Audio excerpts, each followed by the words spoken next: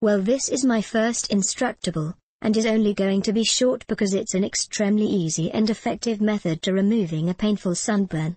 This method was recommended to me by my friend's mother, who is a nurse and therefore must know what she's talking about. Turns out she did. I hope this helps many a painful sunburn to